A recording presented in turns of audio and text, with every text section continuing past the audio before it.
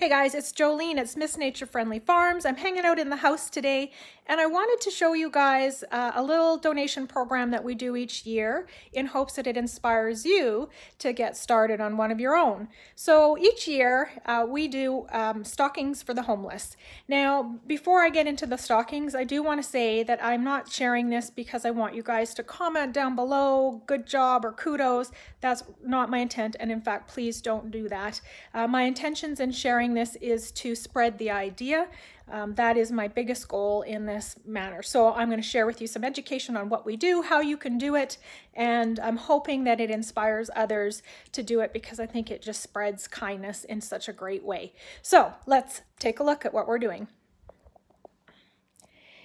Okay, so it starts with a simple stocking. And our goal is to fill as many stockings as we can get put together um, and then share them with homeless or people of um, very low income that are struggling to get by.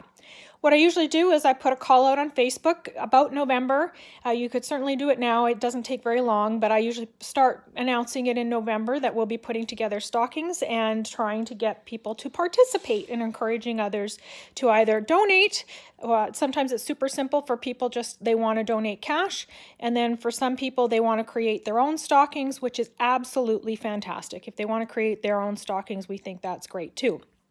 So if you're going to create your own stockings, I'm going to give you some ideas here today of what you can include and talk about that process a little bit. You do need to be able to be connected to either uh, the low-income individuals that you are going to be delivering to or a homeless shelter in order to provide the items um, or some people might even go out on you know christmas eve and, and as a family uh, walk an area where they might know that there is um, people that are looking for um, that have the need so completely up to you how you wish to deliver. I personally, um, I'm, I've got the names that are for the low-income households because we're doing a couple for those, um, and they're going to those individuals directly, and then we take the rest to the homeless shelter. The advantage, um, one thing I will say is when you get donations, there are quite a bit of advantages of donations because when you buy a product, sometimes you get products in fives or like this, you get a product of 12 uh, Chips Ahoy's.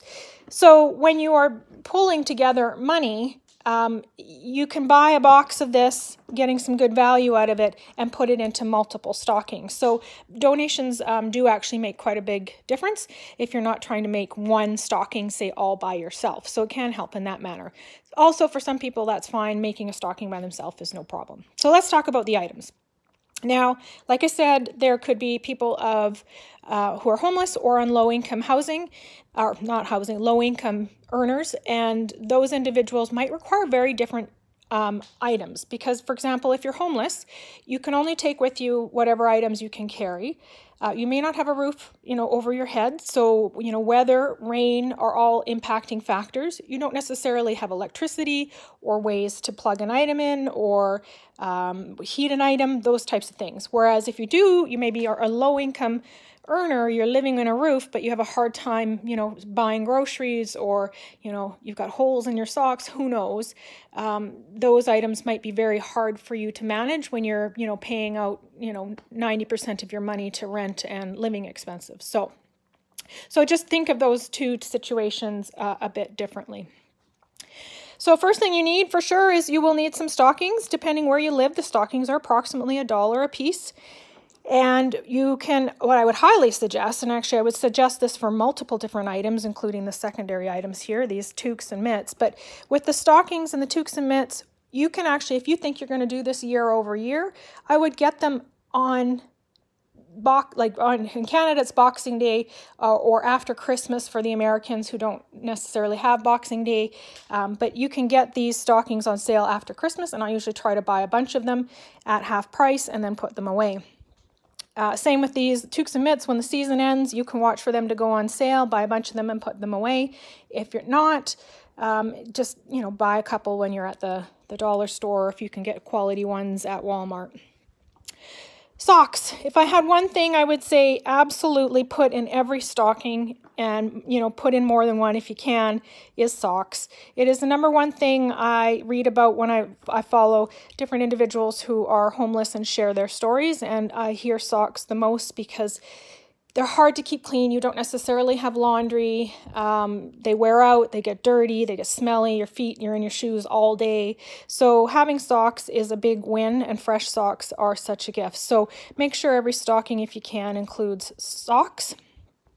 Now, also, if you're in a colder region, and even in Mississippi, it gets cold. So really, um, almost any re region, um, toques and mitts and keep in mind, when you're homeless, you're staying outside often, or you're not staying in a situation where you have access to heat. So, toques, mitts are good, good um, products to provide. And stockings, hand warmers are also great. Snacks, without a doubt. Um, snacks are fairly easy to consider and provide.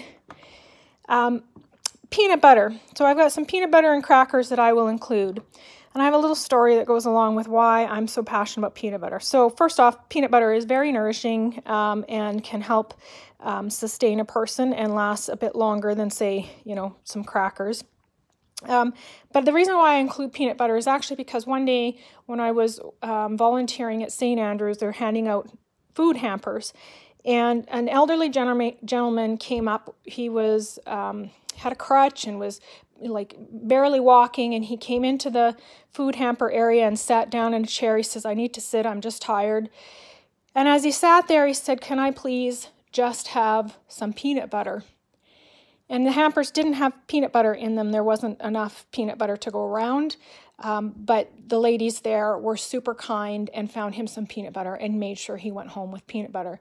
And that story touched me because now I always think about you know, what it's like, the difference between what most people want and what he wants. He wants a jar of peanut butter. You know, often many of us are, I want a car or I want the latest game system. And here's a man who wants peanut butter. So it's touched me, and peanut butter is a big thing. I try to include it all the time. Would I love to include a car? Absolutely, but I'm not in that position. So um, peanut butter is definitely something in my position. And gift cards are fantastic. Now, sometimes places, food places that are feeding the homeless are not open on Sundays or they have a day of the week that they don't have, they're not serving food. So it's really nice to give uh, a homeless person um, the uh, gift card.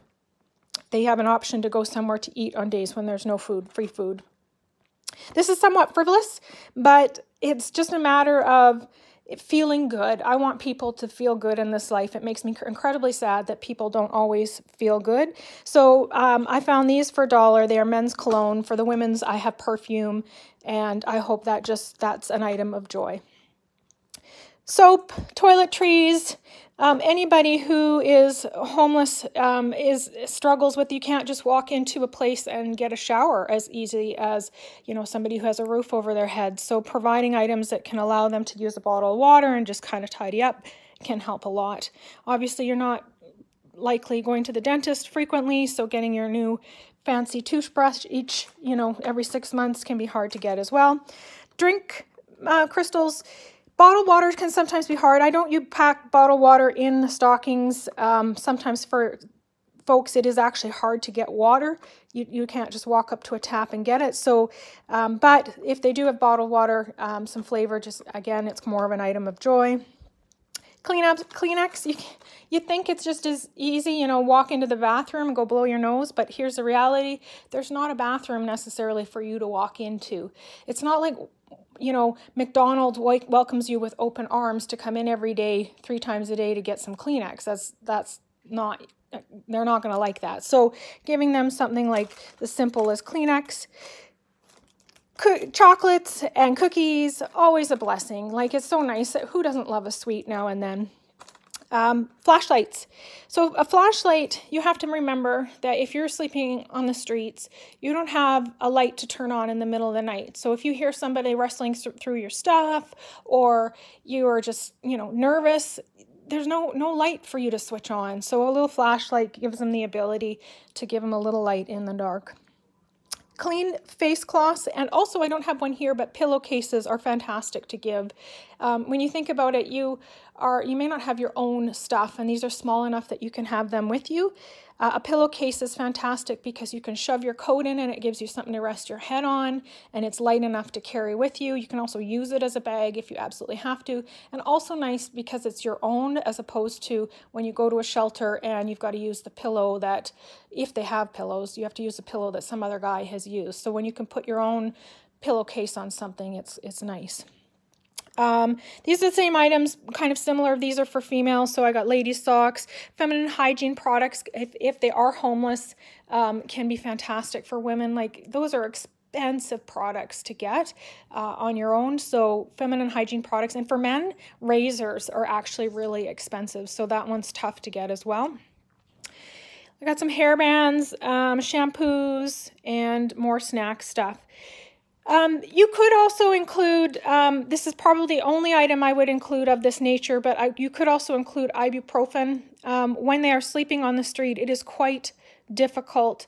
Uh, you wake up really sore um, because who, who can sleep on concrete comfortably? So um, I think providing uh, ibuprofen is fine. May, you may or may not wish to include that. That's uh, entirely up to you. Um, and um, of course, we steer away from anything um, that has any kind of like, you know, like we, we don't give allergy medications or anything like that. But uh, we stay strictly with mostly goodies, um, that type of thing. So I think that's most of it.